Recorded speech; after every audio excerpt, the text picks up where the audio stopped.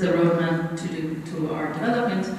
Obviously, um, you see no dates there. Um, there's a reason why dates are not included. Um, it's primarily because of the interrelated nature of each of these elements that, that we put up here. Um, so, in the first instance, if we look at some of the basic policy considerations, um, let's think about things such as tax policy.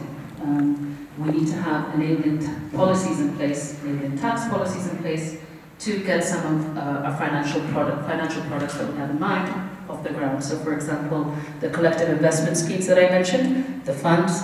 Uh, in many other jurisdictions, you'll have pass-through taxation, which is uh, uh, you know eliminating uh, double taxation.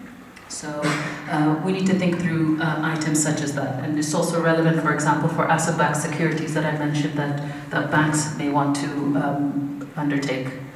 Um, in terms of openness, what we'd like to do is ensure that there's, we would like to enable wide participation uh, in the Ethiopian capital markets. So we need to create uh, an environment or we need to develop a regulatory framework that enables uh, that wide participation. Part of the reason also that we're writing our, uh, our directives, pardon me, uh, with international best practices in mind. And obviously, we'd like to have a broad and diversified investor base um, because that's actually what enables uh, liquidity in the market. So um, it enables uh, easier uh, possibility of buying and what they're buying, what they're selling, um, and then also uh, accounting standards. Uh, it's important that we rely, we can rely on the information that's being provided to us in, by the various issuers of securities. So development of accounting standards and auditing standards will definitely be one of the areas that we need to keep on working on. Um, and lastly, um, the bottom part says market development, um, and in that, um, essentially, accommodating this market. Um, but in doing so, it's very important that we take this in a very sequential manner. Uh, it's not something that can all be done um, in one day. Um, and I think um, the phrase that was used was uh, rational development. Um, so this is what constitute elements of our roadmap, and we're hoping that by following this, these elements, we can create a, a good, healthy, viable capital markets in Ethiopia. So, thank you.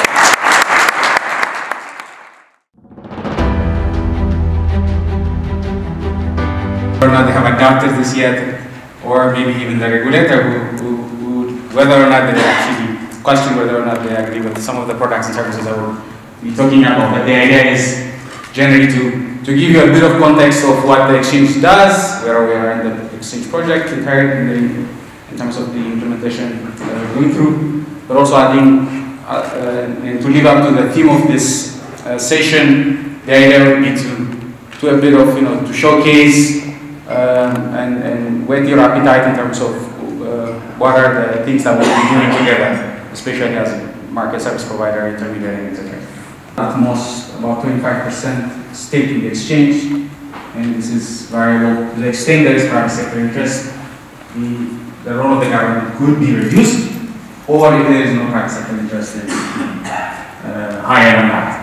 Uh, so we are set up as a project office uh, within EIH and we started work around June, and, and, and we're a team of, five or six people together with uh, uh, international experts and advisors. Uh, we'll introduce you during coffee break. Well, the idea as, a, as an exchange, we'll come back to that, and of course, don't get our employers. Uh, building the exchange is not a rocket science. Uh, at the end, it's usually about platform, it's about rules and human resources.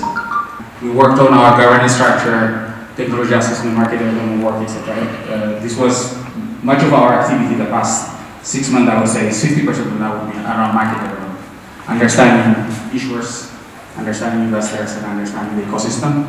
In the next couple of months, we will be trying to raise capital, probably by March, April, uh, we'll, call you back again, probably in this room, uh to get your money. Uh, right now we're, we're only somehow uh, discussing conceptual uh, onboarding our technology provider, hiring people, etc. And, and trying to launch sometime mid uh, next year, before mid next year, hopefully. So although, you know, as Hanna said, although we enjoy the spotlight and we appreciate uh, the capital markets, we, we understand that capital markets are not entirely about exchanges. I think at the end, probably on top of these capital markets authority lies a broader public agenda, right, to raise long-term investment capital, and that the channel to, towards actually meeting that gap and, and filling that gap is, is several. And our role here is actually only to facilitate and perhaps create liquidity uh, for investors, and, and that's what I would say is only part of the story for capital markets. And the channel to actually create and maximize that long-term are very much different. Um, so for instance, you know, if you would just pick the debt market, uh, only a portion of that debt market actually trades on an exchange. It's only a portion of that that's actually liquid. The debt market mostly relies on the uh, we have to find value to ourselves in this, uh, in this infrastructure. Uh, Hanna uh, mentioned about the CSD. So between the exchange and the CSD, the idea is we, we see the CSD being set up under the National Bank because we'll be holding both public securities, treasury treasuries, government bonds, and etc., and also uh, private securities, so shares, uh, private bonds, and etc. Uh, so we rely on the, intermediaries as well uh, to help us set up this market infrastructure and, and, and, relevance. So of course, you know, um, at the risk of oversimplifying, the end goal is to create liquidity, but you know, we, we do that by organizing markets. Um, that's a, part and parcel of the liquidity conversation, right? It's, like, you know, imagining Merkato. You say, you know, military terra, etc., etc. And, and, and as we say in the next slide, you know, when we say, well, this is our equity market, this is the market, MSME market, that's actually part and parcel of our role in terms of organizing the market. We play our own role in enhancing transparency, corporate governance, through our listing rules, through our SR function about towards our members.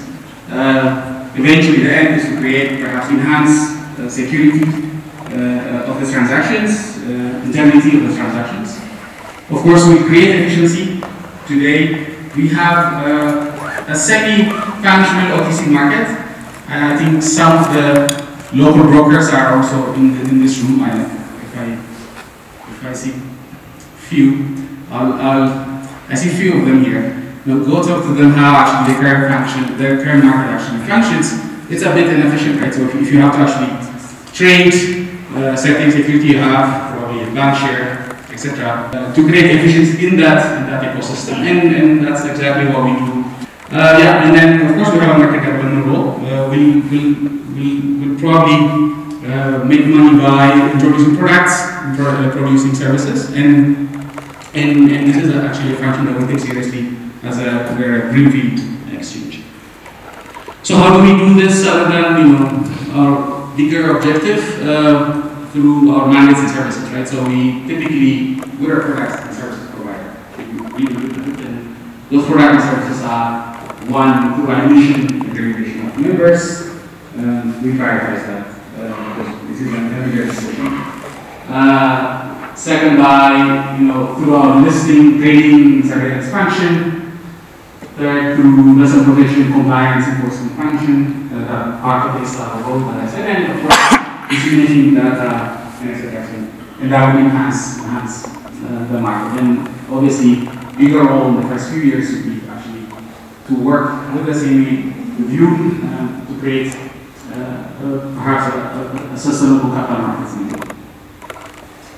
So obviously we'll be interested in terms of, you know, okay, this is the exchange, then what does exchange do? Uh, obviously we have the two play vanilla markets, our equity market, uh, the share market, the Axiom So uh, that would be our primary market. Although, you know, prominently we think exchanges are all about the equity market, as we want the same years.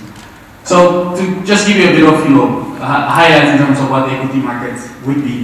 Obviously, we'll organize and again segment our markets. Again, that market organization segmentation function, it's as if, you know, um, you make it easier. Our indices function uh, uh, comes to picture that we'll be introducing uh, funds into, into the market. So, and then and REITs are uh, probably in Ethiopia we call them REITs, uh, real estate investment trusts. The idea would be uh, the uh, service providers engage with us here. So obviously this is an equity market, uh, all investors, with a certain exception, probably we'll discuss that later.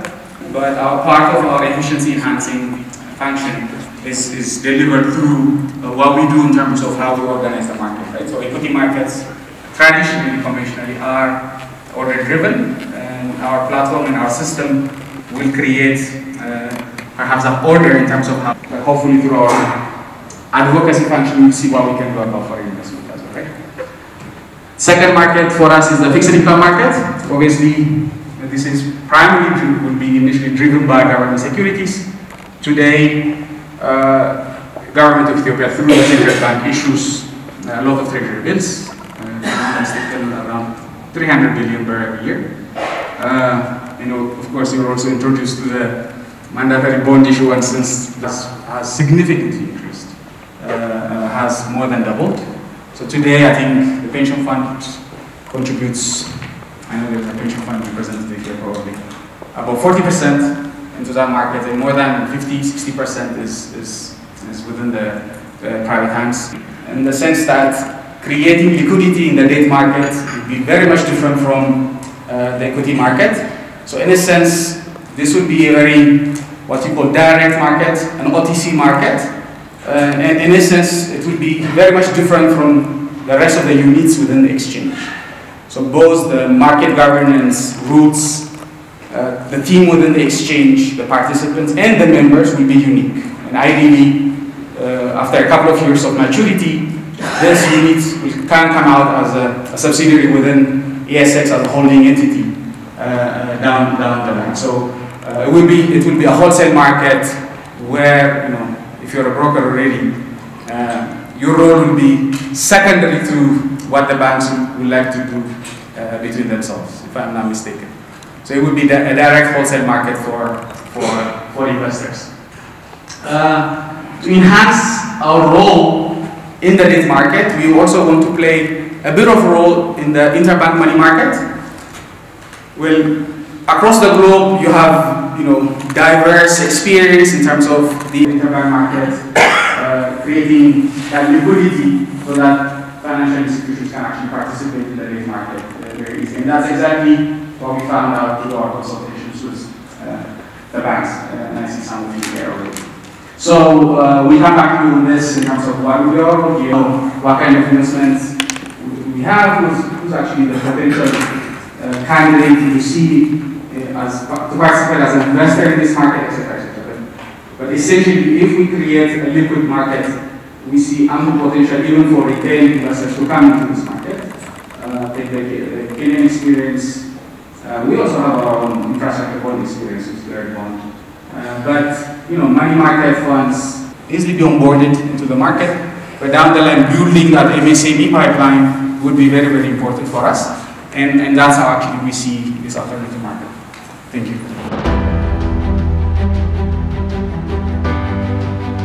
Now we've covered uh, where the, the Ethiopia Security Exchanges, uh, the kind of uh, market models uh, that are in place, and now we get uh, to the beefy part. So today's knowledge series is really more about the role of intermediaries. Uh, you know, we all have different expectations of how we will we will have a role, we will participate in the, in the capital market system.